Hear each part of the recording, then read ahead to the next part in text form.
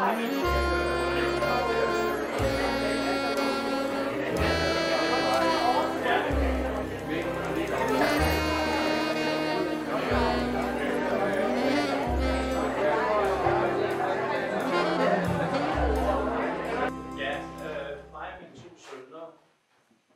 og jeg vil byde jer rigtig hjertelig velkommen. I er jo inviteret ind til en fest, en virkelig fest. Og det her, det er jo en salon. Og begrebet salon, det, det skrider lidt. Jeg har spurgt lidt her og der. Så var der en, der sagde, jamen, øh, er det ikke hos en damefrisør? Jamen, er der ikke noget med øh, de der gamle cowboyfilm?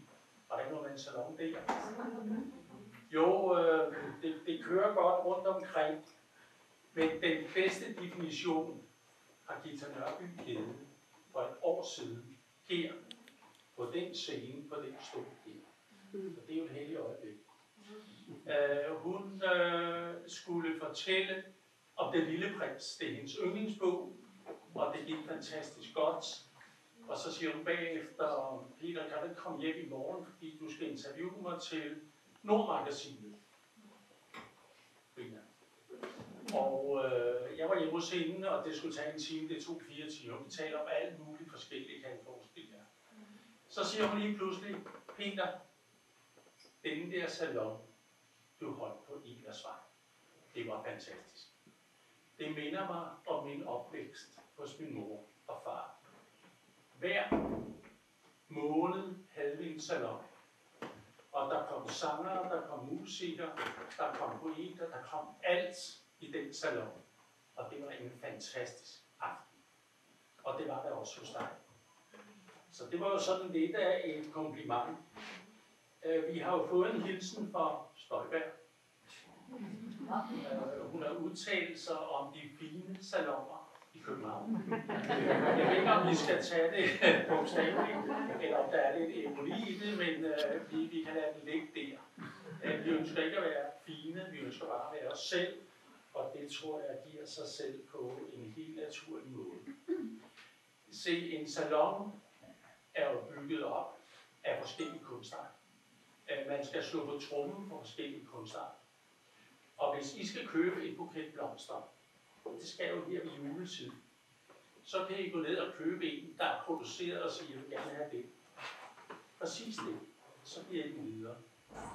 Men hvis I nu vælger en, hvor I selv vælger, hvilke blomster der skal i, så I selv former buketten, eller den I ser der, så er det jo en meget mere personlig gave.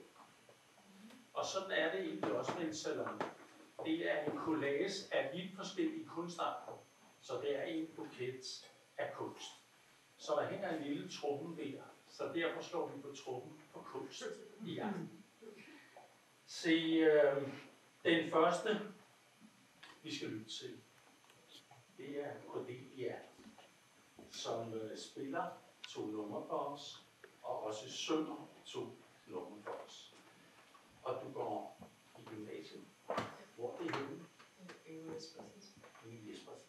Ja, så vil vi lige den præsentation med. Så vi glæder os meget til at høre dit indslag. Værsgo.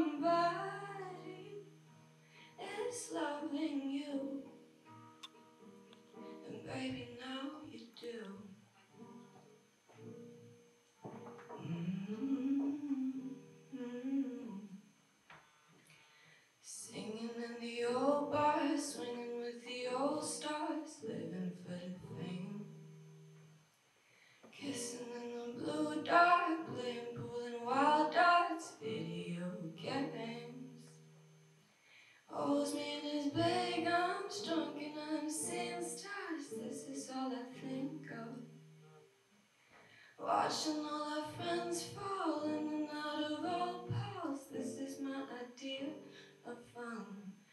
Playing video games. It's you, it's you, it's all for you. Everything I do, tell you all the time. Heaven is a place on earth with you. Tell me all the things you wanna do. I heard that you like the bad girls, honey. True? Better than I ever even knew. They say that the world is built for two. Only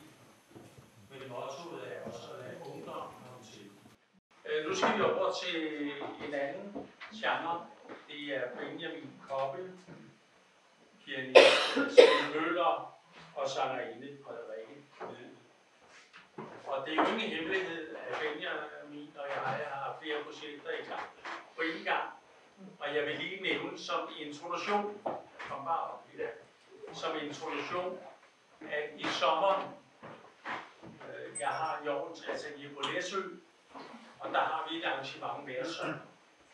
Og der er Benjamin og hans far repræsenteret. Og der sker så det, at øh, der bliver spillet, og da vi så var færdige, så bemærker jeg, at der er to læsøboere, som er hen, henrygt over det, der skete. Nærmest berørt af det. Og så spørger jeg dem, hvad, hvad er der egentlig sket? Og læsøbo er ikke nogen, der sådan ud med deres følelser. Men så siger de, du, du skal lige vide, Peter, at det at lytte til Benjamin, jo på verdensplan. Vi har aldrig oplevet noget lignende. Tænk sidde i Jorns have, ved siden af Jorns hus, og høre så vidunderligt musik. Så jeg tror, vi alle sammen er opmærksom på, at vi har en uh, musiker her, og et band her, hvor vi rammer på øverste hylde. Så ja, jeg ved, at det bliver uddraget af jer sammen. Værsgo, Benjamin. Ja, tak. Hej. Og tak for de fine ord. Vi har glædet os til at komme her til øh, julesalon. Og øh, Peter har spurgt mig, om, øh, om jeg ville spille med disse to fremragende musikere, som jeg kan introducere om lidt. Et lille øh, uddrag af en plade, jeg udgav i foråret, der hedder Annas Dollhouse. Øh, jeg kom til at skrive en roman. Det sker. Øh, og den udgav jeg i maj måned. Den hedder Annas Sang. Øh, og helt kort, fordi ellers kan det godt blive om, så den er baseret på et lille hjørne af min families historie, nemlig det hjørne, der øh, tager udgangspunkt i min farfars lille søster, Annas liv. Og øh, I får den ultrakorte version. Mine oldeforældre kom fra Polen. De var øh, jødiske skræddere, der ville have været til New York i 1907. Pengene rakte til København. Her øh, slog de sig ned. Deres første følge blev senere i livet min farfar. De fik fire sønner og en datter. De fire sønner øh, var alle fem børn var store øh, musikalske øh, talenter. De fire sønner øh, valgte at en for en at gifte sig med danske piger, Schixer, til min oldemors store fortrydelse. Nu var de flygtet, fordi de var jøder, og så øh, forlod de her fire drenge i jødedommen. Det var en stor lykkelighed. Så Anna, som den yngste og som den eneste pige, skulle død og krig gifte sig jødisk. Så mine oldeforældre, særligt min oldemor, arrangerede et ægteskab med sønnen af en fransk-jødisk skrædderfamilie. På trods af, at hun, Anna, også var kommet på konservatoriet, var et stort talent og var forelsket i en dansk mand, som elskede hende og gerne ville gifte sig med hende. Øhm, krigen kommer, de flygter til Sverige, som de fleste andre danske jøder, og efter krigen lever Anna op til det her krav, gifter sig med, jeg har kaldt ham François i bogen, han hed Jacques. Han var en ved satan, for nu at sige det lige ud. Han var øh, voldelig både øh, fysisk og psykisk. Til gengæld varede ægteskabet i 60 år. øh, det er en korte fortælling. Øh, jeg, mød, jeg lærte hende at kende i 2008. Jeg spiller en koncert i det danske hus øh, på Champs-Élysées.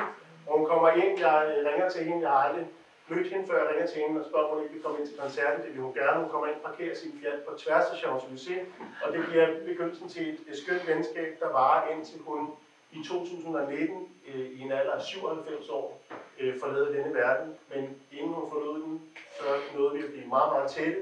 Og hun fortalte mig sit øh, livs historie. Og det er den historie, jeg har fiktionaliseret i romanen Anna Sang. Sådan noget, der står der. Og øh, i forbindelse med udgivelsen, der komponerede jeg 10 sange, som jeg fik min gode ven Cecilie Norby til at skrive sangtekster til. Det der med at skrive sangtekster, det er en anden metier.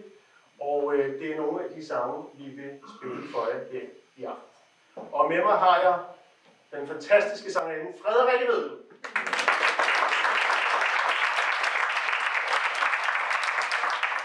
Og den lige så fantastiske pianist Søren Møller.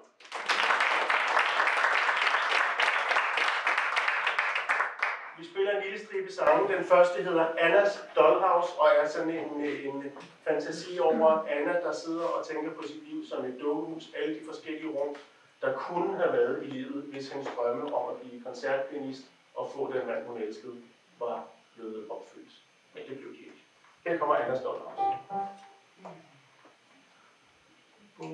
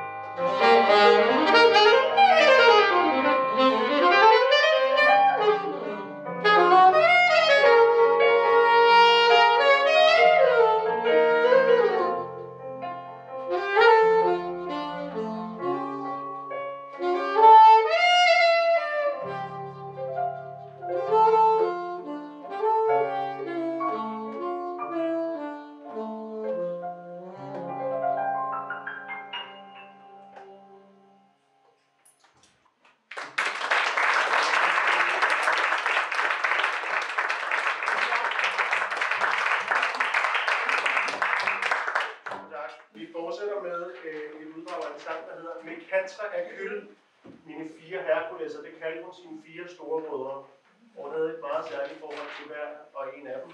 De, gjorde, de havde sådan et forskelligt forhold, som man har med sine søskende. Den ene øh, hjalp hende med lektierne, den anden hjalp hende med musikken, den tredje passede på hende, og den fjerde øh, fik hende til at grine. Det handler den næste sang om. Mekatra af Gud. Thank you.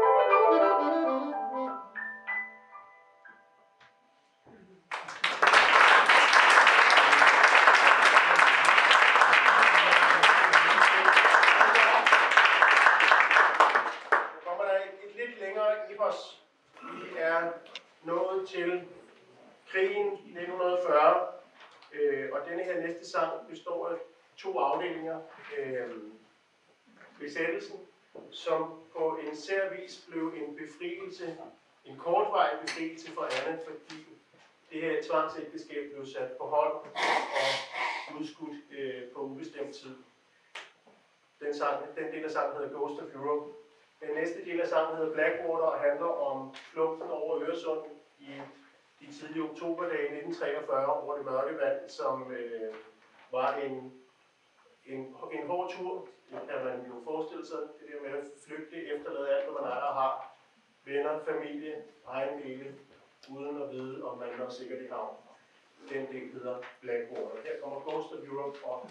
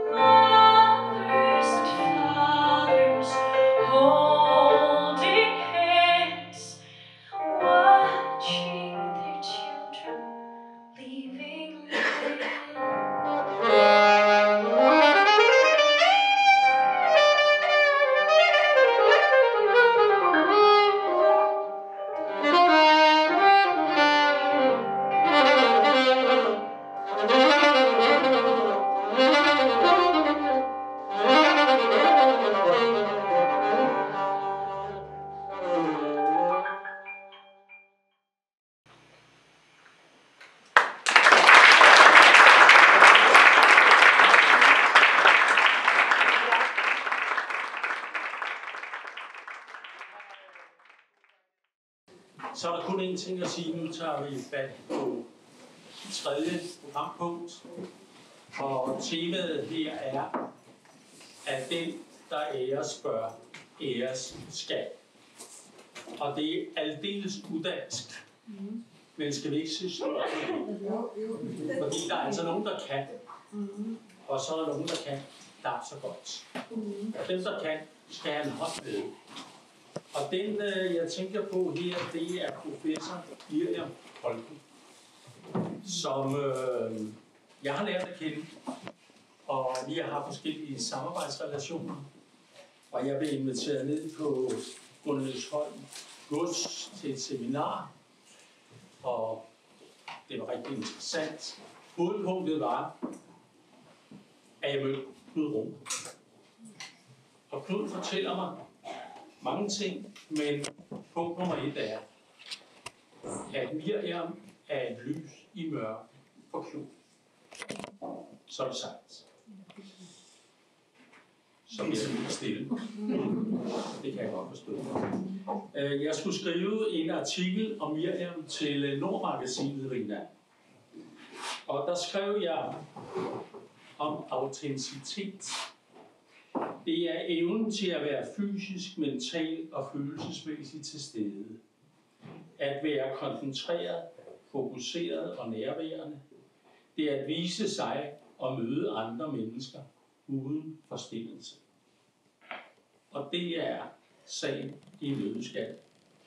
Øh, jeg tror videre. Jeg mener, at Miriam er et naturtalent, hvad det angår, og mit håb er endnu flere lærere i fremtiden, som har fokus på at møde mennesket og ikke kun patienten.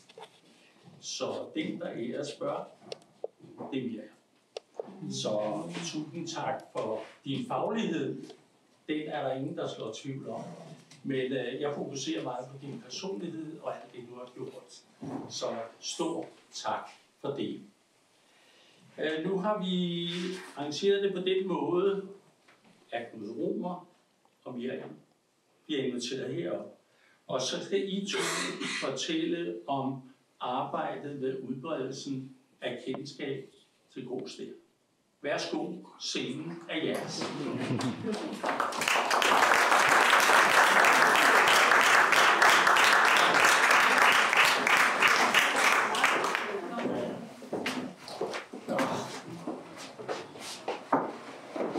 Og det har jeg ikke fået.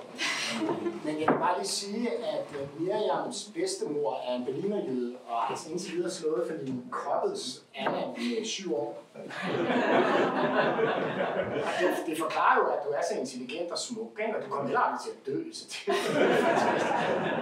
Fordi at øh, jøderne, de, de, de, de kan noget. Jeg, jeg lærte faktisk, øh, jeg kunne have giftet mig med Anna, og det havde stadig været jøde. Ikke? Jeg var gøj, men hun havde jo bare bragt generne videre, ikke?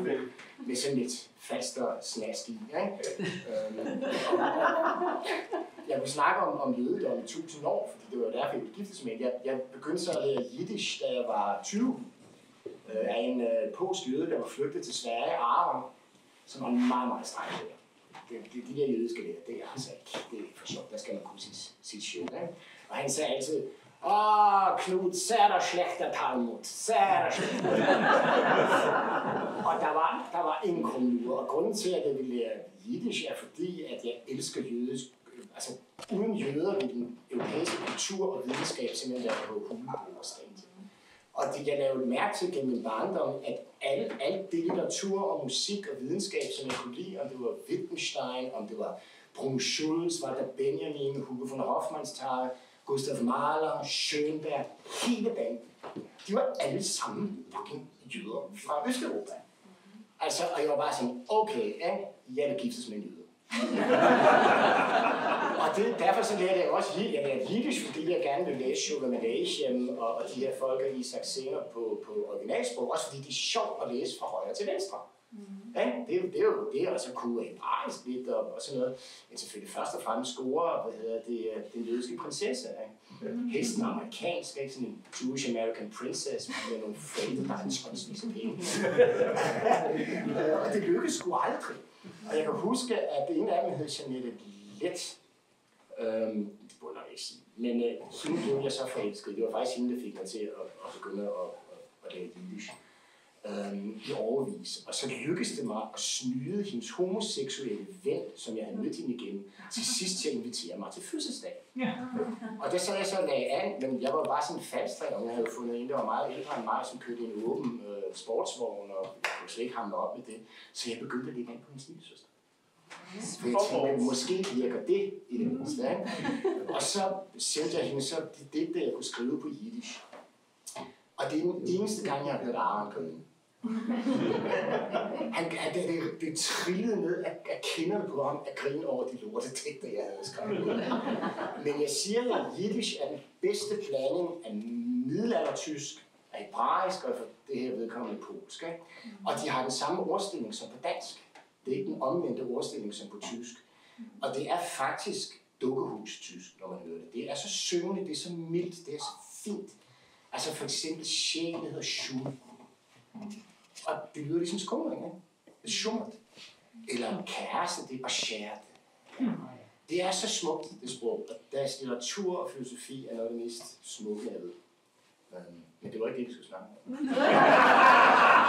Men så vil jeg lige sige til vores ven Peter, altså, det er ikke gråstær, det er grønstær.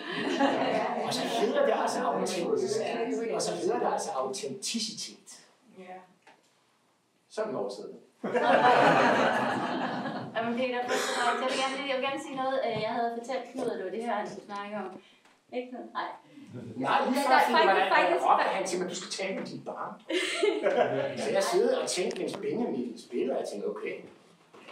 Jeg vil gerne lige starte med at sige, Peter, det, jeg har aldrig nogensinde prøvet at, at sidde og bare være, have lyst til bare at krybe ned under en stol før, fordi det var sådan så fine ord, du sagde. Og, altså, men, men, men det, er også, det er også specielt at, at blive rost på den måde, og øhm, ja, jeg, blev, jeg, jeg vidste ikke helt, hvad jeg skulle gøre mig selv. Så, Du må så tak til det. I alle sammen har hørt på det, og øhm, Jamen, det er Tak fordi jeg ville. Det er faktisk lidt Det er, skamfuldt. det er pinligt, det er Det- ubehageligt. Men det er også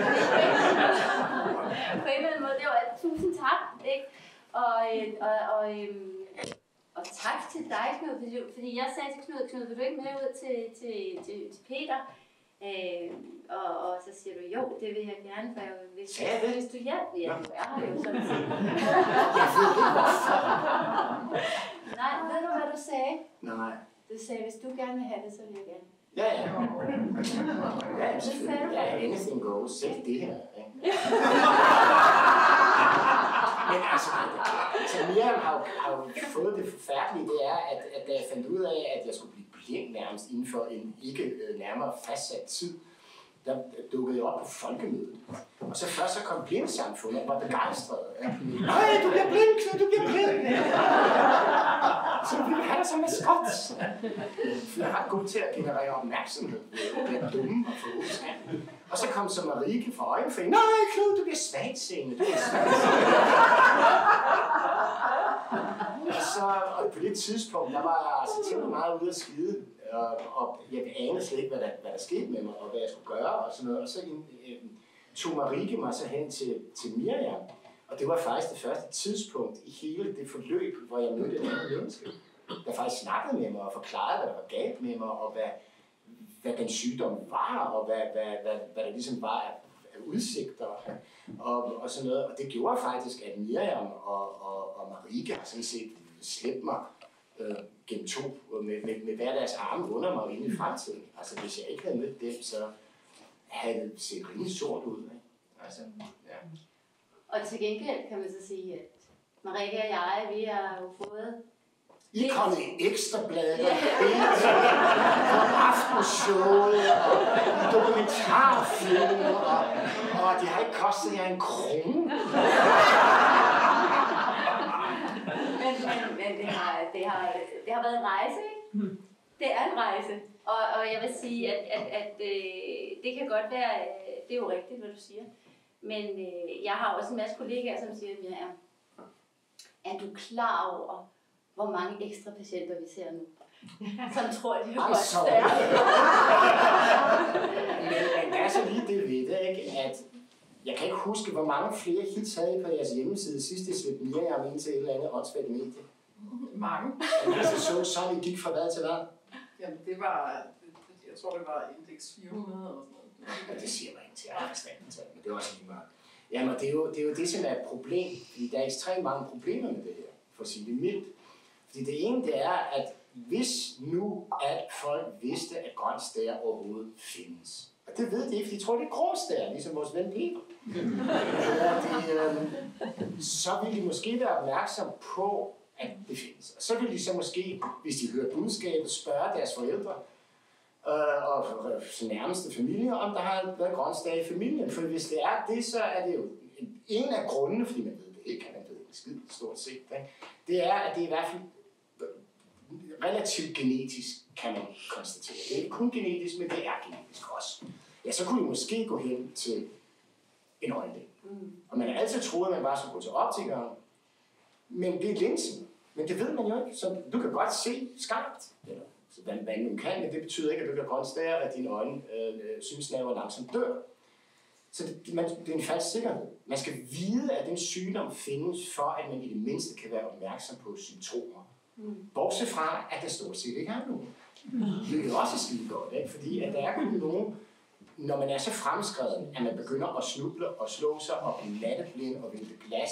Men eftersom man ikke ved, at sygdommen findes, så gør man ikke noget ved det. Man tror bare, at man ligesom mig er blevet sådan halsen med en gammel og klodset, og jeg har altid været fjot og sådan noget. Ikke? Så det vigtigste er jo oplysning om, at sygdommen findes, og man skal være opmærksom på symptomer. Problemet er, at når den er så symptomfri, som den er, så er det jo pisse svært at gå ud til folk og sige, når I er 45-50 år, gå til øjenlæge. Få, få taget jeres tryk. Fordi at det, der findes jo også andre sygdomme, de øjensygdomme, få det gjort. Fordi hvis man siger det, og hvis man kan gøre dem rigtig bange, og det er jeg ret god til, så, så styrter jo fandme en, en god del af Danmarks befolkning til øjenlægerne. Hvilket så gør, at der kommer en kø for helvede, som gør, at dem, der rent faktisk har øjensygdomme, ikke kan nå at blive behandlet i tide, inden de bliver det. Så det er jo skide godt, fordi ja, det her det er jo ligesom, jamen, lige meget hvad du gør, altså hænge der eller, eller hænge der ikke, så vil du fortryde begge dele.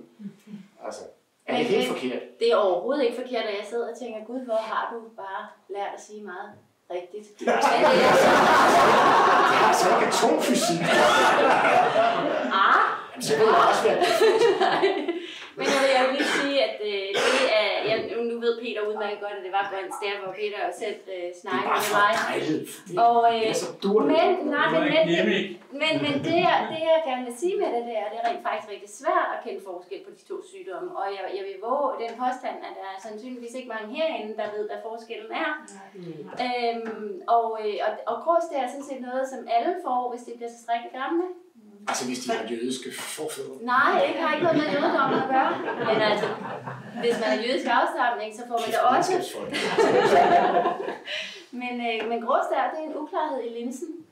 Øh, og den er man så heldig, at man i vores del af verden faktisk kan helbrede ved at lave en operation. Det er en af de hyppigste operationer overhovedet, vi foretager som øjenlæger. Så der skifter man simpelthen bare linsen, så den uklare linse, der sidder forrest i øjet, den øh, skiftes ud med en klar kunstig linse. Og så hvis man ellers ikke har andre øjensygdomme, så bliver man faktisk rask. Og det er jo en helt anden snak med grønt der. Men til gengæld, og, og, det, og jeg er jo helt enig med Knud, faktisk har jeg siddet et par gange, Knud, når du har været i medierne, det er det jo så dagligt. Øhm, Du skal ikke tro, det er sjovt, og jeg får heller ikke penge for det. nej, men, jeg synes, det er sjovt. Jeg, men det er godt nok dyrt, for jeg skal købe alle de aviser, du er så jeg er snart ruineret. Øh, men men øh, en af de ting, som jeg jo har sagt til dig, at du må altså ikke sige, at alle skal gå til øjenlægen, men det har du stoppet med. Ja. Ikke? Fordi, Men hvad skal man så sige? Jamen, det eneste, man kan sige, og det er jo derfor, vi har brug for forskning. Vi har jo brug for at det er jo vide mere. løsning, er- Okay, Og skal, jeg kommer skal, til pointen mere om lidt. Okay. Jeg skal bare lige sige det her, fordi det er vigtigt. Ja. Men vi har nemlig brug for forskning, fordi vi skal finde ud af, hvem er i risiko for at få grønt stær, og hvem behøver ikke at være bekymret. For det er klart, at langt størstedelen af af befolkningen behøver ikke være bekymret for at få grønt stær. Der kan være rigeligt at bekymre sig om i, i øvrigt. Men, øh, men, men dem, som faktisk skal ses, når de er omkring 45 år, det er dem, som har grønt stær i første led, det vil sige, ens forældre eller søskende har grønt stær. Det er en anbefaling, vi laver. Det er sådan set det eneste, vi kan sige nu. Men mange for os... det har mine forældre jo. Nej, Men jeg har ingen søskende. men altså, og, og, og, det er jo, og det er jo uheldigt. Øh, og, men, og det er jo ikke, fordi det er en ualmindelig sygdom. Men, øh, men indtil vi ved mere om, hvem der er i risiko, så kan vi så vælte systemet, hvis alle render til øjenlægen. Men lige nu er vi ved at lave en masse samarbejde med Det er der nemlig. optikerne. Ja, Ikke? Og der hjælper du også. Nej, men det er jo ret genialt, ikke? Også fordi, at jeg er jo gammel reklamedreng. Ikke? Det er man nødt til at være, hvis man kommer fra Falster og vil blive forfatter. Så kan man altid blive tekstforfatter. Vi laver penge og kan skrive. Hvad hedder det? øhm, Det fede er jo, at når videnskab og kommersielle interesser, eller kunst og kommersielle interesser, kan gå sammen. Fordi at, øh, jeg skal være nok ikke sige, det men, men den her meget store kæde af, af øjne og optikere, de kan jo have en konkurrencefordel ved at, at spille på den videnskabelige klinge. Det har jeg gjort mange gange. Jeg har gjort det med det ene medicinalfirma efter det andet faktisk, øh, med Lundbæk og med, hvad fanden de alle sammen hedder efterhånden. Ikke? Øhm, fordi de får en konkurrencefordel mod, at de så giver noget for det. Og det, de for dit vedkommende gør, det er, at de giver dig det, der skal til for at have big data. At de laver, de laver spørgeskemaer, de undersøger nogle ting og sådan noget, og folk går med til det, så hvis man kan få et tilstrækkeligt stort befolkningsgrundlag, hvor man kan have en eller anden idé, det jo- man ved det jo ikke, det er jo det blå, ikke? så de skal svare på alt muligt, det ved de bedre end jeg, ikke? deres madvaner og livsstil og, og hvad fanden du end, ikke? hvor meget drikker du, og hvor meget kokain tager du, og altså, hvad fanden- det sidste. det er specielt det sidste. Altså, det er jo vigtigt. Og rigtig god kvalitet, først og fremmest. Du dør af rottegift. Ikke? Men det er noget helt andet. Det er jo det fede, det er, at når videnskaber og kommersielle interesser kan mødes, og når du kan få den kæmpemæssige data, du kan få, på grund af et engagement, der har varet i årvis, det, jeg ved ikke, hvor mange år det har taget dig, med bestyrelser og med interesser og med ditten og datten, og hvorfor skulle vi, og øh, bla bla. Så det er jo helt, det, du har en udholdenhed og en, og en vilje og et, et, et, ligesom fremtidsperspektiv, som jo får dig til at gå som robot. Ikke? Altså, og så når du derhen. Og det fede ved big data er jo ligesom meget videnskab.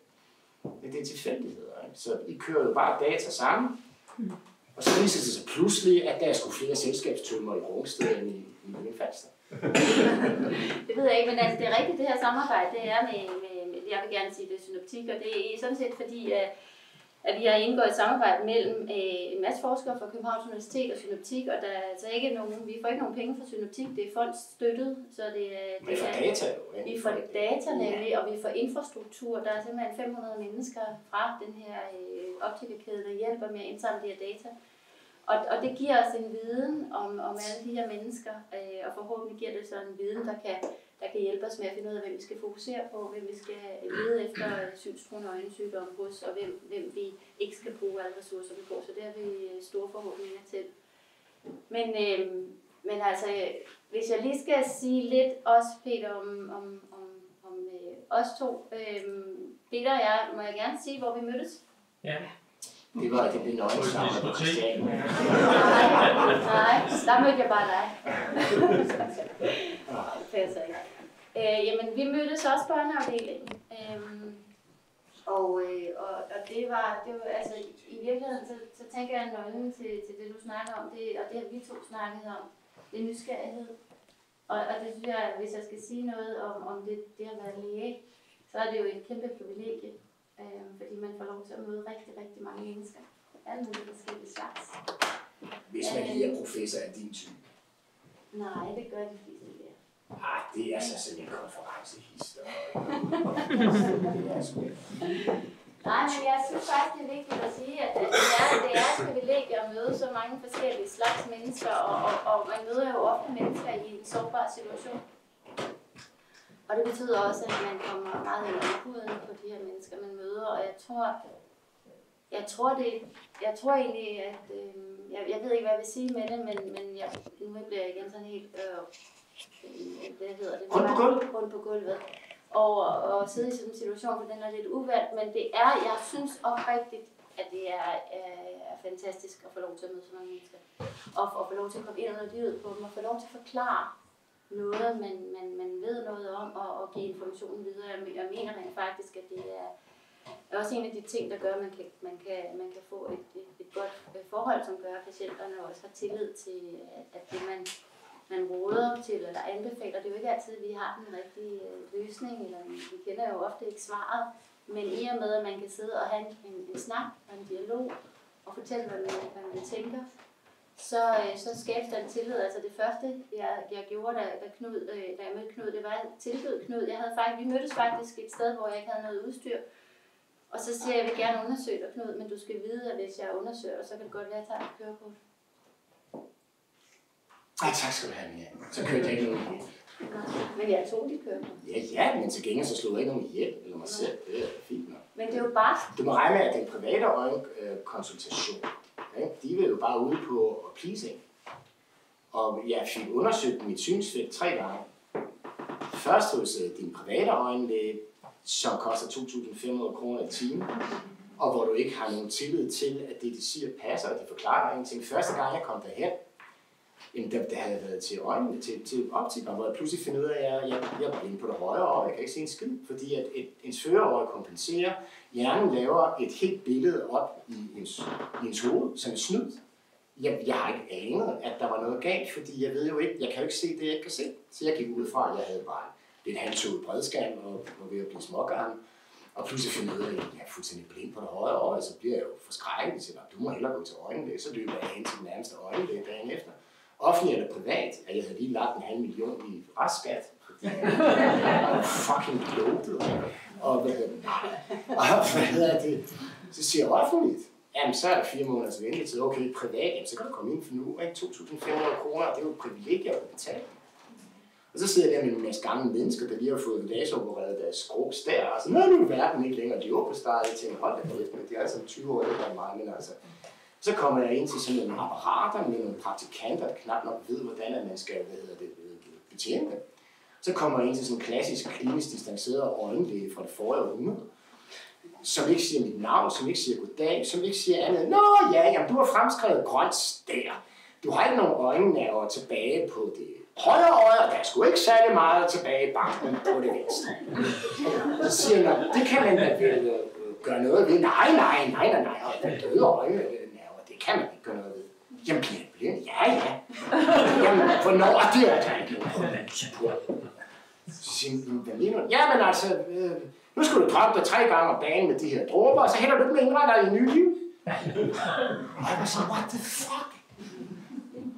Han, han, han tiltalte, han, han fortalte mig en til, at det var sådan, farvel, næste punkt, 2.500 kroner. Og, og så var jeg jo sådan, ah, jeg vil jo gerne beholde mit kørekort. Så jeg var sådan, men hvordan er mit synsfelt? Ja, kig her, kig her. Ja, det, du beholder bare dit kørekort. Okay, ja. Det var så inden jeg havde mødt Miriam. Så fordi, at jeg måske ret obvious grunde kender, hvad hedder det, professoren i psykiatri på Rigshospitalet. Når jeg kommer ind på nærmere, øh, så benytter jeg mig af det, han som sådan en eller anden. Det er sådan, at kan jeg få en tid hos øh, øjenprofessoren på Rigshospitalet? Ja, det kan du da godt. Så det skaffer han mig, og det var omvej, det her. Fordi jeg ringede jo til Rigshospitalet og sagde, du har en privat øjenlæge, der skal vi ikke se. Og jeg okay, fedt nok, godt system, jeg er kommet ind i. Så kommer der sådan en knastør gammel mand på et eller andet, han burde have været gået i pension for, for, for længst.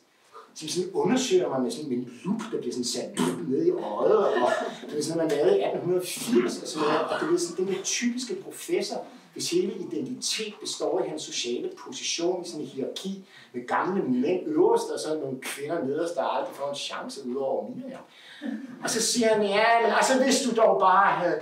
Nej, kirurg, jeg vil gøre alt for at redde dit syn. Jamen, du kan ikke gøre noget. Nå, men, øh, men øh, må jeg beholde mit kørekort? Så kan jeg, kan du se det her? Ja. Kan du se det her? Ja. Kan du se det her? Nej. Jeg tager det kørekort. Jamen, jeg har lige fået det af den private øjenlæge. Jamen, min computer er bedre end hans. Du har brugt nogle computer, din idiot. Så går jeg så tilbage til den private øjenlæge, så kan, kan du se det her? Ja, kan du se det her? Ja, kan du se det her? Nej, du kan prøve det. Og det var så først Miriam, jeg havde tillid til. Fordi hun ligesom tydeligvis hverken var en bimelind, dement, gammel, kirakisk professor eller en kommersiel aktør. Det hun sagde var fornuft, og hun havde også ligesom gjort det, som er ret vigtigt. Og det, som er fedt med at få problemer, og man nu bliver dement, og man nu skal på plejehjem, og man nu skal blive skilt, eller om man nu skal blive eller hvad nu end af de her bump på vejen, som gør, at man lige pludselig er i problemer. Hvor ens borgerlige eksistens måske endda hænger i en tynd tråd. Så finder man for det første, og det er jo som gammel Frankfurterskole, kritisk teori, samfunds, Adorno var jo også, øh, italiensk jøde, kaldte sig så for et andet navn for at undgå det, flygtede så til Amerika, fordi han var rig. Men han tog sgu ikke Walter Benjamin med. Det gjorde han sgu ikke. Jeg tilgiver ham aldrig. det var ærgerligt. Og Håkon og mig, de to røghunder. Jeg, jeg virkelig. Og det sjove er, at jeg er vokset op seks huse væk fra ham i Frankfurt på Kæmpevæg. Så der kom han ud til udover, ikke? Guten Morgen, herr doktor. Eller, eller hvad fanden var det, det kalder han til. Så fulgte jeg så efter ham ned ad Kæmpevæg over Sengenberg-anlage hen til Institut for Sozialforskning. Og der tænkte jeg bare, det der, der skal jeg ind. Der skal jeg ind. Og det kom jeg selvfølgelig aldrig nogensinde. Men kritisk teori, de, de var meget antikant, meget kritisk ideologikritisk. Oplysende, fantastisk, demystificerende, ekstremt højborgerlige og konservative og reaktionære og alt det gode. Men det, sjove er, at han, han ville have revolution. Ikke også? Det ville han have. Komikken er, så kom studenteroprøret i Frankfurt, som var ret vildt i Frankfurt. Og det kommer så hen til Tellys, hvad hedder det store auditorium, hvor han holder forelæsninger. Og der kommer så ungdomsoprøret og revolutionen. Og der er der så to unge studiner, der går op til, til Adorno, og så river de lederjakken af, og har selvfølgelig ikke noget på nedenunder, og så vifter de med brysterne op i hovedet på Theodor, nu har han sin revolution. Ved du, hvad han gjorde? Han ringer til politiet! Ej, det fede er, at når man får alle de her problemer, blandt andet grønskab, så opdager man, hvordan det står til med tingene. Man opdager alle de kritiske håndtag, man overhovedet kunne finde på et meget specifikt problem, som kan blive ret generaliseret. Fordi det ene, man opdager for eksempel, det er, hvordan er forholdet i sundhedsvæsenet. Hvad er der af køer for at komme til? Pludselig finder man ud af, at der er øjnesygdomme, der er så akutte, at når du er færdig med at stå i kø til at blive undersøgt, så er du blind. Ups, ikke også? Jeg har, der var en meget, meget sød pige, Agnete, der kom til et af mine foredrag med Aalborg Lærerforening. Det har trods alt ikke været forgæves at sige et eller andet på DR, så jeg kan få nogle penge. Men hvad hedder det? Øh, hun kommer der, den yndigste, mest sødme, fulde pige på 27 år, med briller, blindestop, siger, hej, og sådan, er jeg gået rigtigt? Og så siger jeg, ja, men, men, men hvad kommer du for hvad får det her? Og så siger tusind tak. Hende har jeg så stået i kontakt med, fordi at jeg synes, det var, fordi det, som jeg så hører, det er, at hun, hun er så sød, at man ikke kan forestille sig så meget hjerte og empati. Og hendes største drøm, det var at blive folkeskolelærer for de yngste klasser. Det var hun blevet, indtil at hun året efter, hun havde fået sit job, fik hun en bold i hovedet, som, hvor hun fik en hjernerystelse, som udløste, nu har jeg jo ikke læge, men det var jeg forstået på hendes journal, udløste en prædisposition for en meget sjælden sygdom, som er en eller anden neurologisk sygdom, hvor dine muskler går i kramp. Det er så blevet til mere og mere og mere hen ad vejen. Det perverse er, at den søde, søde pige, hvis interesse er at gå til kor, hvis interesse er tysk kunne hjælpe mig. Altså, okay, altså lad mig give dig et kram. Ja, det gør, at blandt andet, at hendes øjenlåg kramper sammen. Så hendes øjne kan se, men hun kan ikke åbne øjnene. Det er jo fuldstændig... Nu er hun nået dertil, at hun ligger syg i ugevis med migræne, som ikke bliver behandlet, med mere og mere udpræget muskelspasmer, og hun står i kø til at blive undersøgt og behandlet i 2026. Hun må ikke tage til Tyskland med koret, fordi at hun jo netop nu er på sådan noget syge øh, dagpenge. Så hun må ikke engang rejse ud af landet.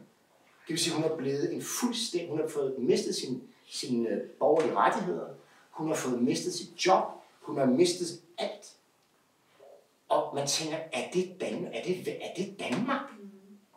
Så man bliver jo oplyst af at komme i problemer, fordi man pludselig finder ud af, at den, der har problemer, hvad betingelserne er for dem.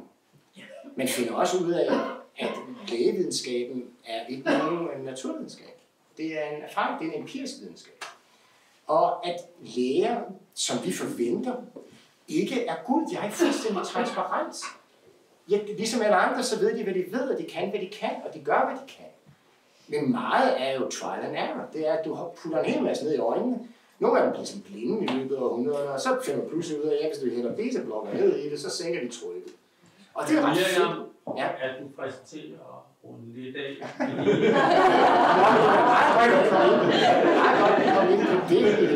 så Jamen altså, godt kritisk Ja. perspektiv som samfundsborger, hvor vi alle sammen kan være det rigtigt. Jeg er jo altid, jeg er altid så imponeret af, at du kan simpelthen øh, underholde, og, det, og så sidder jeg og så tænker, jeg, men altså, det er i hvert fald ikke nogen kunst at snakke Og live, for man skal bare lytte. øhm, men, øh, men, øh, jeg vil jo, jeg vil jo sige, at nu du taler om, om, om læger, så heldigvis, og det, det har jeg jo også sagt før, at der, det, er jo de, det er jo de langt de fleste læger, som faktisk er, er rigtig ordentlige. Det er også rigtigt, at, øh, at lægevidenskaben bestemt ikke ved alt, men, men til gengæld ved vi meget, og jeg synes der også, der er meget, der fungerer i den, i den danske sundhedssektor, men der er selvfølgelig store udfordringer. Øh, men det er jo også... Øh, jamen, det skal jeg jo sige, men det mener jeg faktisk også. og, og så vil jeg, hvis jeg skal runde af, så vil jeg jo sige, øh, for det første er jeg rigtig glad for, at du igen ville komme her sammen med mig. Og jeg har fået vin. Ja, og, og jeg vil også gerne sige, Peter, tak, fordi det er jo alt for meget. Øhm, og øhm, tak, fordi I har siddet og lyttet, og øhm, ja, det er vel egentlig det, jeg vil sige. Tak. Vi skal lige høre efter, fordi at alle de problemer, man møder, er jo ting, som kan have konsekvenser til forbedring. Når du siger, at de fleste læger bla bla bla, ja, det kan det godt være. Men det interessante er jo, at når man kalder mennesker for patienter, og når man ikke har særlig nok tid, måske skulle man overveje at kigge anderledes på det. Nemlig som hele mennesker, ligesom du. Du redder min forstand ved at behandle mig som et helt menneske. Spørg til mig, Nå, hvordan er der blevet skilt, Knud? Det er jeg helvede til. Jeg er også blevet skilt, og det var jo heldigt for dig og uheldigt for min mand. Men altså, hvad nu? At, at der kan man så kunne gå ind til medicinstudiet og sige, måske skulle patientkommunikation blive en større del af, af medicinstudiet. Ikke? Det vil sige, at kritik er ikke noget negativt. Kritik er en analyse, som så fører frem til forbedring. Det er vel ikke så nej, det er rigtigt. dumt. Nej. Og så vil jeg altså lige sige, at hvis du møder Alberte Vinding, det gør jeg, så kys hende og kram hende, fordi jeg elsker hende overalt af hendes musik. Altså, når, når hun selv synger forår, er det fint. Ikke? Når radiopigekoret, som jeg har haft ret med at gøre, synger, det, er det eddermame også fint. Og så skal du hilse hende, at man kan faktisk høre forår i det der dobbeltentendre, når du kan høre andre ting blive sunget. Og min kæreste fra Aalborg, hun lærte mig, at når man hører forår, så kan man øh, høre øh, et eller andet med, at de kører ud af motorvejen. Kommer øh, til. Nej, det skal jeg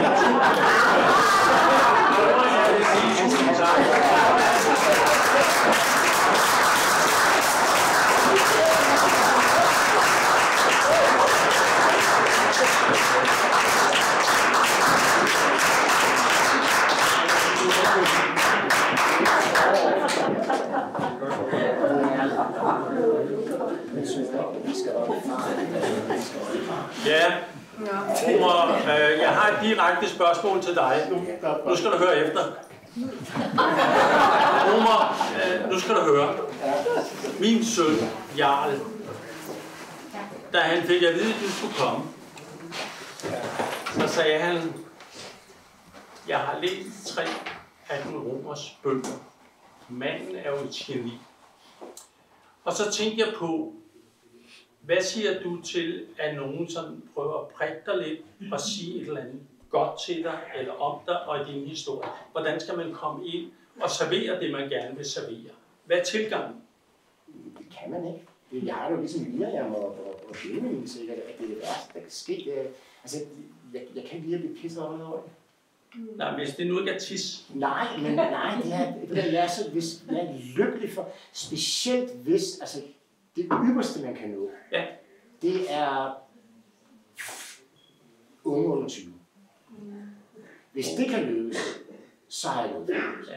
Og det, at der sidder, ved du, der er nogle gange til de her forkølede foredrag, hvor jeg ser mig rundt, der kommer der fandme sådan 18-årige drenge, som har taget deres mor med.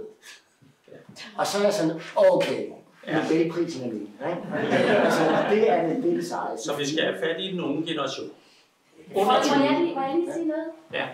Undskyld, Clara Saxo, men jeg har mine børn med, som er 19 og 21. Og de sagde til mig lige før, han er virkelig sej. Nej, den må du tage. På. Det er fordi, at jeg kommer fra Falster ude på Skam. Og er den, jeg var faktisk nede og se en sværvægtsbokser kæmpe, kæmpe sin livs kamp. Når du skal vide, at vi kører anden halvleg næste år, der er Ja. hjertelig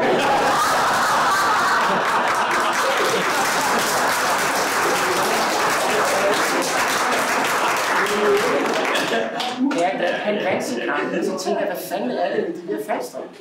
Og så tænkte jeg, nothing to lose. Og hvad er princippet? Det er, det vil jeg skide på. Ja. Og de unge er jo stadigvæk dem, der ikke er søbet ind i alt muligt pis. Så hvis de, hvis de hører en, der taler højklart og tydeligt, Ja. og tænker, det vil jeg skide på. Jamen, det er jo, det er jo statsministeren, det vil jeg skide på. Altså, så, ja. vil vi, vi vil bare sige tusind tak. Jamen, så,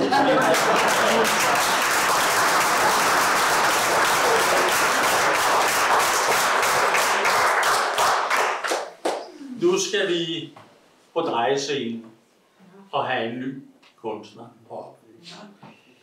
Det er for mig at se en af de største danske kunstnere, som mange ikke kender. Det er et mærkeligt fænomen.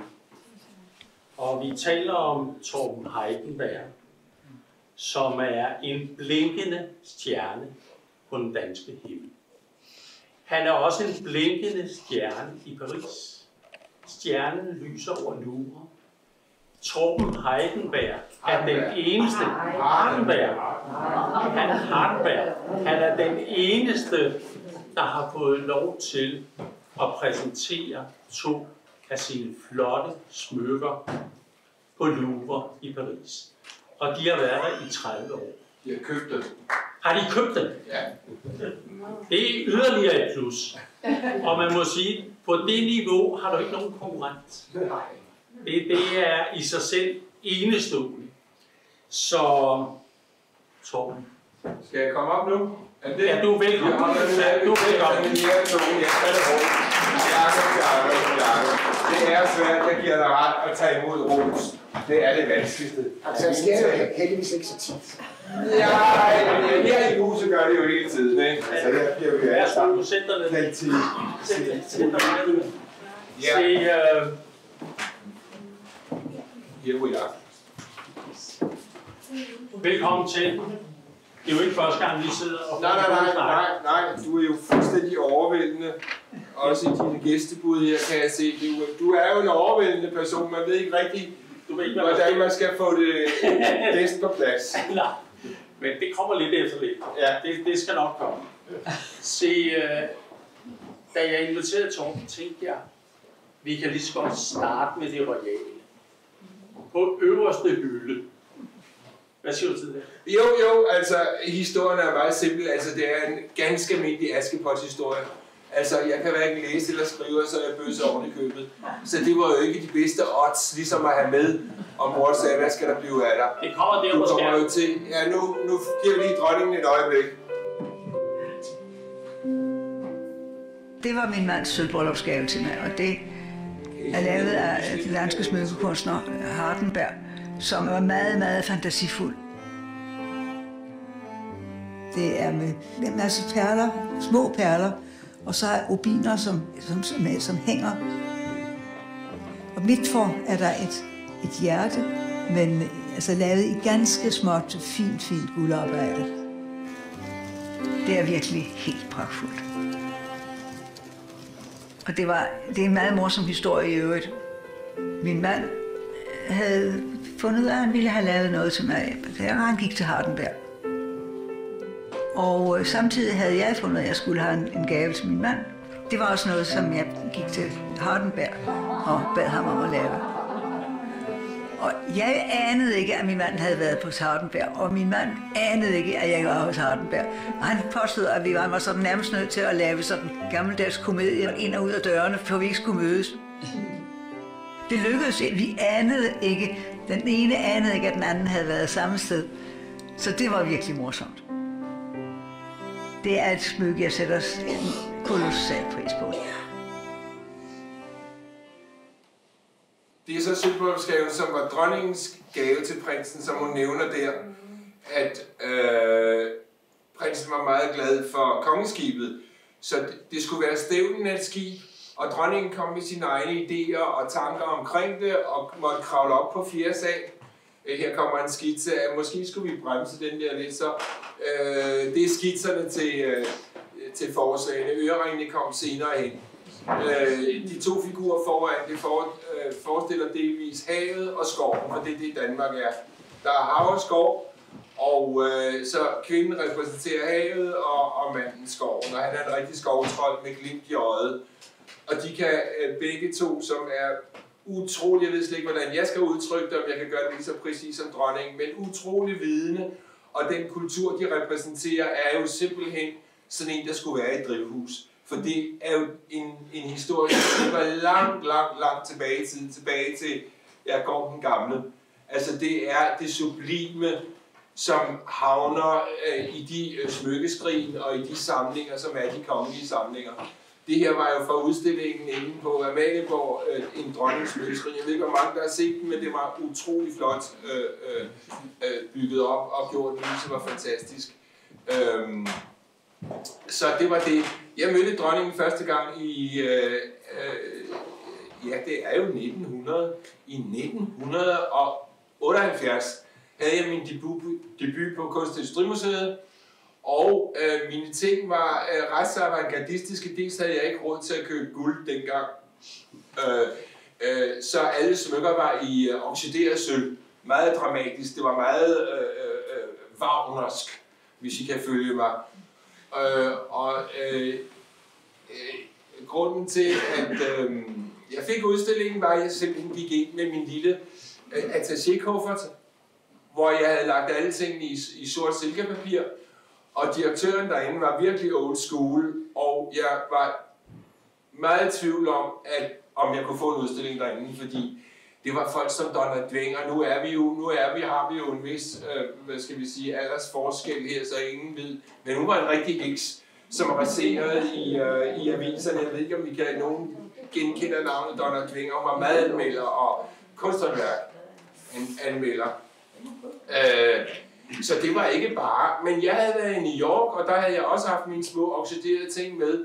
Og øhm, øh, der gik jeg ind til Bloomingdale, som var verdens flotteste varehus på det tidspunkt, og spurgte, om jeg kunne få en udstilling. Jeg havde et møde med en dame, og hun sagde, we are just waiting for you. Det havde jeg aldrig hørt før, for jeg var blevet smidt ud af fire lærepladser, plus alt det andet, jeg lige nævnte for jer. Så jeg var nok en dreng med store komplekser. Men øh, da dronningen kom og så udstillingen, Øh, det var et rent mirakel. Nu ved jeg ikke, hvor detaljeret jeg skal gøre det her, for jeg kan blive ved. Øh, øh, men øh, øh, øh spurgte hun, hvad det øh, halsbånd, øh, øh, om det halsbånd der var til salg. Og sagde, ja, alle tingene er sådan set til salg, men så ville jeg gerne sætte en rød prik ved det. Men kan vi ikke holde det som en hemmelighed imellem os? Det var ligesom et rigtigt eventyr. Det er ikke rart, at alle ved, hvad man går og laver. Så jeg måtte ikke sige til nogen, at den grønne prik, det tilhører det halsbånd, som Bonnie gerne vil have. Og det gav mig en identitet. Det har jeg senere haft lejlighed til at sige til hende, at takke for, at hun kom med sin tryllestav, og gav mig en identitet så tidligt i mit liv. Fordi jeg vil sige, det er ikke... Altså, min drivkraft i mit arbejde er mit vintervandskompleks og mit storhedsvandvid. Det kan være, at vi har noget til fælles der. Det er den bedste, det er den bedste motor, du kan, det er den bedste øh, benzin, du kan hælde på. Og øh, så vil jeg nok sige, når man får de opgaver, så nu er der et billede af Brosje der med Diana og, og Kronhjorten.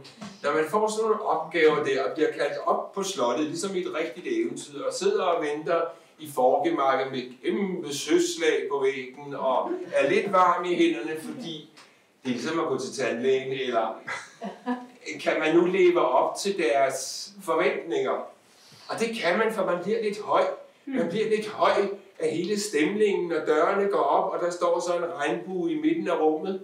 Det er så prins Henrik, fordi prins Henrik, han kommer fra mange lande og mange verdener bag sig, og taler, øh, hvad er det nu han taler? Han taler, øh, ikke kinesisk, men det hedder, mandarin taler han, ja, nemlig, det var der nogen, der vidste. Øh, han vidste alt om jagt, en masse om kunst, en masse om sejlsport, en masse om mad, en masse om alting. Han var simpelthen en regnbue, fordi når man står over for sådan en person, som når vi nu her har forskellige personer på scenen, så fornemmer man, hvor, meget, hvor mange vande øh, de personer har været i. Hvor mange baggrunde, hvor mange historier. Og øh, så derfor så øh, laver de ting så næsten sig selv, vil jeg sige, fordi man er høj af glæde og beruselse, og derfor kan man så godt sidde og arbejde i 3 og 4 måneder, uden at man egentlig, øh, hvad skal jeg sige, føler sig slidt. Øh, det er vestibylen, det vejer øh, 2,5 tons, det er bronze, og øh, det var, da man restaurerede Christian 7. palæ, så foreslog dronningen, at man skulle måske spørge guldsmeden, og så sagde Kost, øh, øh, Slots- og ejendomsstyrelsen, jamen han er guldsmed, han kan ikke lave noget, der er så stort. Jo, det kan han tro. Det kan de tro, han kan. Han laver også teater. Så, så øh, jeg bukkede nogle jernbøjler, for vi kunne komme frem til størrelsen, og, og, og, og dengang lignede det her et brædeskur, fordi bag alt pussen, der øh, er brædder sat op. I ved, at øh, Christian Sivs Palæ var delt i, ty, i to etager. Så vestibylen den fyldte, øh, fyldte to etager, for der, soldaterne, som bør, øh, øh, øh, befandt sig, skulle overnatte derinde. Det var deres sovelokaler. De var bitte små, men der var 16 lokaler i vestibylen. Og det er sjovt at tænke på, især når de havde pillet, med, pillet gulvet ned, så kunne du se, hvor gulvet havde været. Så jeg var med helt fra begyndelsen af. Øhm, ja, skal vi tage den der? Det er Louvre-historien, for hvis du trykker en tanke til på knappen, så... Altså Louvre, det er der, hvor Mona Lisa bor, ikke? Men øh, øh, den anden fløj, som ligger ud mod Rue de Rivoli, det er Musée d'Art Decoratif, som er øh, kunsthåndværk og, og øh, øh, både møbler og mode og modemuseet Out of This Girls, uh, Out of This World Girls, det var det, jeg ville sige. Uh, har I hørt om modemuseet? Ja. Ja, altså det er virkelig et besøg værd. Jeg var dernede for to måneder siden og hilste på brochen, det der var filmen, der var fra, for I kan se, at jeg er blevet lysår der. Der har Peter jo været så snu og snedig, for det er han jo også. Man skal jo ikke tage fejl af det. uh, Han har købt den der hos Laris.com. Brochen står faktisk derinde i sølv. Og den, jeg har der, den er i bronze. Øh, og det var det, jeg gjorde den i. Øh, øh, det var tænkt i bronze, men jeg lavede ganske få, som blev bestilt af kunder. Så der må være en kund, der enten er død eller blevet træt af den. Så derfor var den på auktion. Så øh, øh, det er historien om den, der hedder øh, Ancient Smile.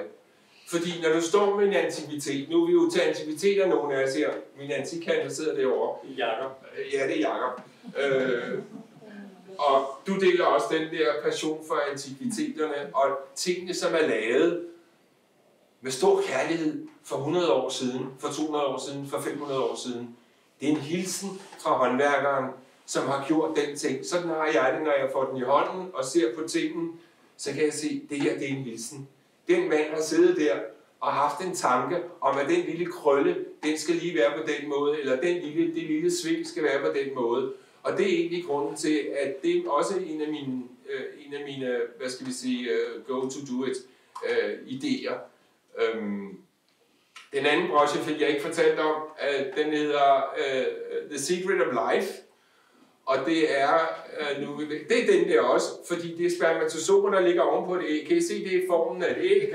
Og så er det spermatozoen. Begyndelsen på alt liv, vi er over i lægevidenskaben og øh, øh, Birgitte Possing har lige skrevet en bog, og hun havde set et billede af en af mine ting i avisen, og så sagde hun, det skal være forsiden. Så hvis I har øh, set den bog, der hedder Mod al sædvane, så er det min brosje, der er på forsiden, som hun sagde. Det er som om, hun har lavet den til mig. Altså hende, ikke? Øh, det er min moderne ting, det er, da jeg så blev mere stringent i det. Øh, jeg ved ikke, om jeg skal holde foredrag om hver ting. Du kan også gøre noget, ikke? Altså, du skal også have lov til at sige noget. Er? Øh, det, øh, nej, det er ikke Bauhaus. Det, der kom før? Øh, det tror jeg ikke. Nej, altså, øh, øh, Bauhaus... Øh, Nå, det, det er... Vi havde et billede fra Bauhaus, Ja, ja. for det hører til et andet foredrag, jeg havde sidste uge. Jeg ser først billederne med, når jeg står op. Men altså, Peter skulle spørge mig. Ja. Øh, Det jeg vil spørge dig om, når vi, når vi ser den figur der, Ja, det er jo børsen. Du, det er opsatsen, du mener, ikke? Ja. Ja, vi må tage lidt af bladene af. Prøv at fortælle om den.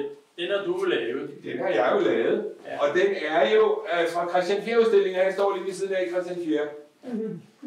Fordi det der med at være guldsmed og lave små ting, og et lille hjerte og en lille blomst og sådan noget, det var ikke det, jeg ville. Jeg var en mand med store, store komplekser. Jeg ville lave noget, der var større. Jeg ville lave en udstilling om Christian Fjer. Jeg møder Ben Kilo, som var ret fantastisk, som der er en til, der kender i det her rum, og ellers kender I ham ikke. Han var out of this world. Hvem kender ham? Jeg kender bedst. Nej, gud du jo. Nej, vi kender hinanden, gør vi ikke? Det kan det godt. Er du ikke gammel model, eller? Jo, ja, altså. Jamen, så kender vi. Jeg tror, vi har lavet noget. Derfor kender jeg Ben Kilo. Han, Ja, han var han- så speciel. Han var utrolig. Jeg mødte ham på Rydde Rivoli sammen med Birgitte Villerslev. Sådan. Ja, ja, ja. Og vi gik ned der, og så hvem kommer imod os? Det var Ben Kilo. Og siger, hvorfor holder du ikke nogen udstillinger i København? Siger, det gør jeg, fordi jeg orker ikke kokosmåt-tæpper, og jeg orker ikke rispapirslampper, og jeg orker ikke det socialdemokratiske. Og nu stod jeg øh, Birgitte ved siden af med en maquillage, du tror det er løgn, ikke? Øh, så siger så har jeg kong Hans-salen, der er masser af guldlister, og den får du til at lave en udstilling om Christian 4. Og dengang, der havde de simpelthen det, der hed en øhm, snekersag.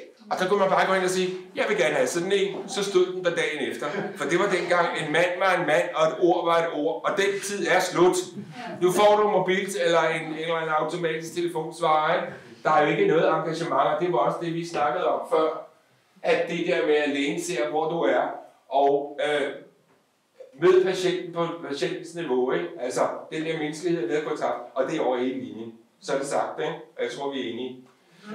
Øhm, I alle tilfælde skræddersalen, de snakkerede indtil den udstilling vejede to tons. Der var springvand i midten, der var søjler, der var et sørgeoptog øh, i sørgeflor. Og Ben Kilo, han sagde jo ikke stop. Hallo, vi skal have noget, de lægger mærke til derude. Vi skal have majestæten ind og se den her udstilling jo. Det er det, det går ud på, ikke? Så vi fik en forside både på politikken og bærlingerne, og det blev pissegodt. Og det her var en af de lidt større ting, jeg gjorde, og det var alt sammen lavet ud af det her er noget fra en gammel lampe. Altså hvis I vender den om, så er det sådan en, der sidder deroppe i plastik, tror jeg, ikke? Nej, det Den er ikke så god, altså... Det er er skål. Det er sådan en, der sidder her, ikke?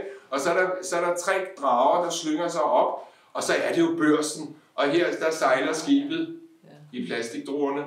Og her sidder de forskellige slaver, og øh, der er China, der er te, og der er silke. Og det var jo det, som København, og det der var Christian IV's stærke side. Christian IV havde et skatkammer, som blev smeltet op. Han skriver selv, citat, Tag spejlet ned i den store stue, tag sølvrammen og smelt den op, og hænge spejlet op på sin plads igen. Og sådan gik det med mange af Christian IV's kostbarheder, som havde været et meget, meget artigt kunstkammer. Det forsvandt. Det blev smeltet op. Men der tænkte jeg, at jeg ville skabe det kunstkammer i messing og kover, fordi der var heller ikke råd til andet. Øh, så det blev en, en, en, en meget øh, storslået udstilling faktisk, og det blev senere så øh, øh, øh, købt af Norge og, og sendt op til noget, der hed Galleri F15 i Moss, og fik lige så stor succes i Norge. Det solgte til alle tre museer på en gang. Kunst, eller Nordnorske og øh, Nationalmuseet, der lige er blevet bygget. Har nogen været i Norge for nylig i Oslo? Altså det nye Nationalmuseum, tag hatten af. Altså det, alt liner, det er, det er øh, simpelthen øh, Guggenheim, det er så elegant, det er, jamen, der er kun et vindue, og det hele er i grøn skiffer. Og så er arkitekturen derinde super, super. Og ved I hvad? Min broche overlevede. Det vil sige, at den var på det gamle museum, men når der kommer en ny direktør, og en ny arkitekt, og en ny alting, så er der mange ting, der ryger ned på det Torben, nu er jeg også nødt til at sige, at jeg ved at gå i detaljer. Jeg ved at gå i detaljer, men I kan høre. meget med land. Det mener. That's where we are, where we are today. Torben, jeg vil lige sige en ting. Ja. Min drøm med dig, Det var jeg ikke, jeg stille dig spørgsmål. spørgsmål. men kunne jeg få Torben til at springe ud på gulvet og tale, så var det en succes. Og det var en succes. Det var, det var rigtig godt.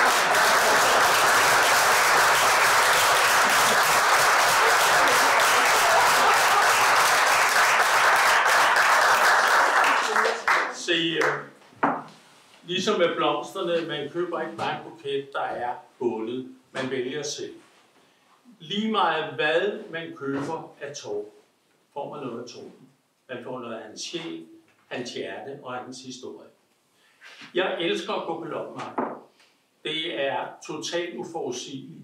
Men jeg møder en hver gang på loppemarkedet. Det er dig, Tom. Vi møder hinanden hver morgen klokken 6 lørdag. Nej, det er jo løgn. Du har aldrig været der. Du står op klokken 10, så du har aldrig været der. Bortset, ja, det er rigtigt. Men vi møder hinanden, og så taler vi om Torben indimellem. Vi, vi har en passion for Torben. Hans personlighed, hans kunst. Så siger jeg, du til jeg en dag, prøv at se her. Så har du en ring af Torben. En flot, maskulin ring. Prøv lige at vise den. Prøv at rejse dig op. Hvad siger jeg så?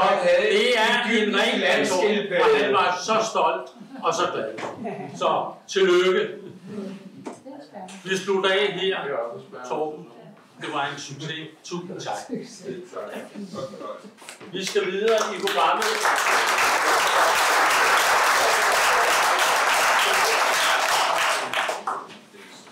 Øh, det sidste punkt her, der vil jeg starte med Jørgen Let. Han forfalder også til at være meget begejstret og poetisk. Jeg har lidt rem af huden, det må jeg indrømme. Øh, Jørgen Let har skrevet en bog, der hedder Mine Helte. Jeg møder tit nogen, der har antihelte. Og så skal man høre på dem i flere timer.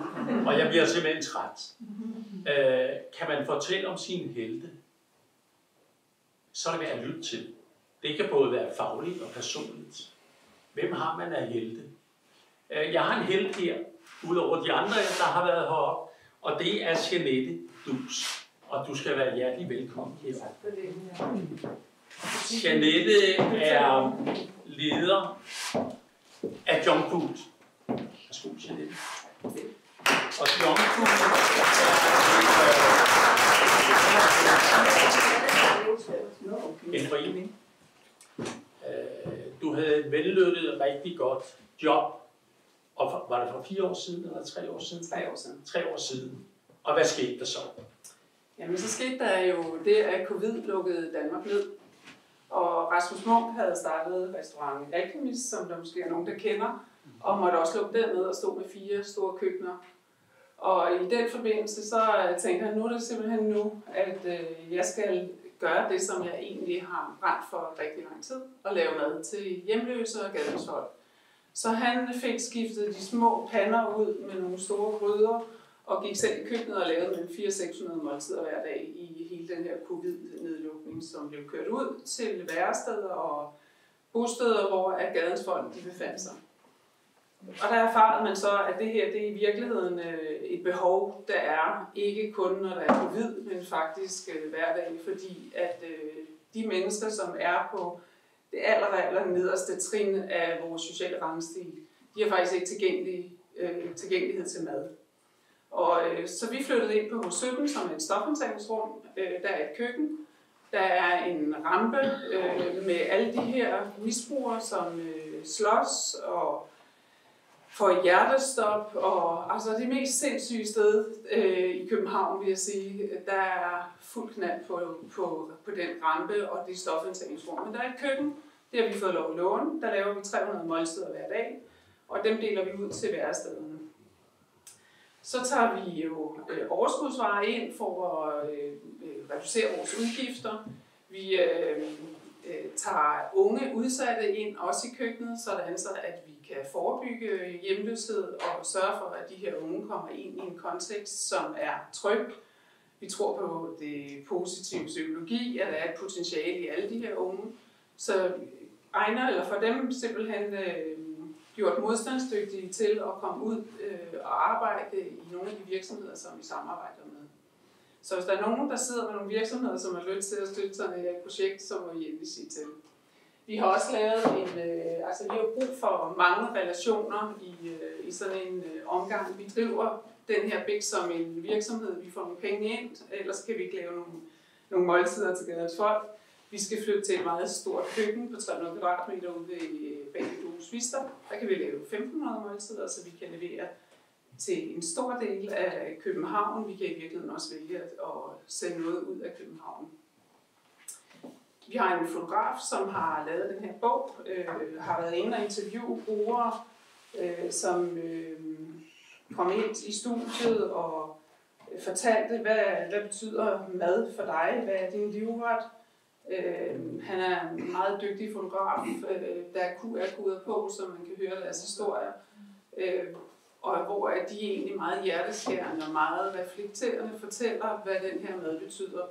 Mad er jo helt vildt basalt, men det er jo samtidig det, der gør, at du kan sove. Hvis du kommer ind på en natherberg, og du har en tom mave, så kan du ikke ligge til at sove. Så bliver du aggressiv, så begynder du at slås, og så er der en masse uro på sådan nogle steder. Det er også det, der gør, at øh, du faktisk føler, at du har en, øh, en, del af, er en del af et samfund, at der er noget normalitet, at øh, vi står og laver mad. Ofte er de vant til enten ikke at få noget, fordi de prioriterer ikke deres penge til mad. Øh, så, så kan der være, at der er en rest for en julefrokost eller et eller andet. Men den fornemmelse, de har af, at vi har valgt, at de skal have et måltid hver dag, det er veltillavet, det er tidligere alkemistkokke, der står inde hos os, nogle unge fyre. Så det er lidt, vi har lavet for grunden. Det er varieret kost, det er kylling, det er fisk, det er grøntsager, det er oksekød det gør simpelthen, at øh, de faktisk har en tro på, at øh, der er måske i virkeligheden noget, øh, nogen, der ikke er bare ligeglade med mig. Og kan også være med til, at det faktisk kan være skridtet til et normalt liv. For når du sidder og spiser, alt det, der opstår i under et måltid, så begynder du at sidde og tale sammen. Et værsted, der kommer de ned fra deres hummer og øh, suser rundt, og maden nu er ved at være der. De ranker maden fra 1 til 10, så er det nemt at komme ind i rummet og diskutere om, øh, hvad synes du maden, øh, er det en 3 eller er det en 7 i dag? Mm. Og så lige pludselig så vokser øh, sammenkomsten jo i virkeligheden, så er det ikke bare en måltid, der bliver indtaget, så har man lige pludselig brugt to timer på en fodboldkamp, eller en billiard, eller en smøg, eller et eller andet. Så den mad, den er jo meget fundamental og basal, men den er med til at gøre en rigtig stor forskel. Ja. Jeg lovede at gøre det kort, og jeg tænker, I er ved at være åndeligt mætte i alle de mange gode indslag. Så tusind tak for Selv tak.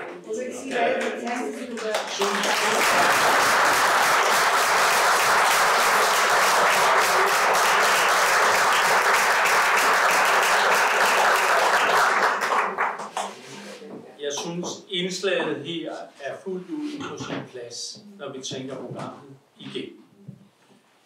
WHO vurderer modenhed og styrke i et samfund ud fra en ganske bestemt betragtning. Hvordan hjælper man i det samfund de svage? Og jeg tror, vi alle sammen, når vi lytter til det her, føler os ramt. Men nu har jeg været inde og interviewe dig på stedet, og så bliver man ligesom en del af det. Det kommer tættere på, det skærper en samvittighed og også taknemmelighed og mulighed for at hjælpe og støtte. Jeg tænkte på, omkring alt det, vi har lyttet til, hvem skulle have buketten, der står her. I har sikkert regnet det ud. Den skal til dig. Se, den buket består jo af forskellige blomster. Hvis du tænker på en bestemt inde hos jer, I giver mad hver dag, jeg ved ikke, hvad han hedder, men du tænker på en bestemt, hvem skulle det så være? Hvad var navnet? Brian Bo, måske. Hvad siger du? Brian Bo. Brian Bo. Lad os nu sige, en af buketten af blomsten der, det er Brian Bo. Og jeg fik lov til at tale med Brian Bo og tige stille og lytte, så garanterer jeg for, at når jeg har lyttet til Brian Bo, så bliver jeg stille. Så enkelt er Vi skal tæt på, hvad der sker, og det er du. Tak for det.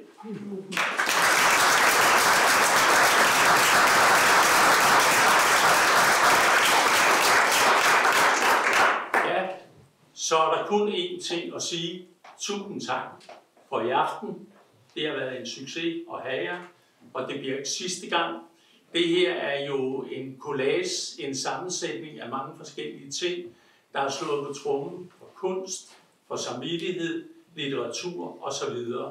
Men uh, tak for jeres tilstedeværelse, og så er der fri bar derude. Der er stadigvæk lidt vin, hvid og brød, og så er der også vand. Så tak for i dag.